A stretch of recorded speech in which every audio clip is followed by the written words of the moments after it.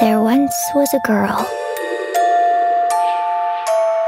No one dare speak her name. In death, she seeks vengeance for a life filled with pain. Once you see her story, you have seven days to live. Because she does not forget.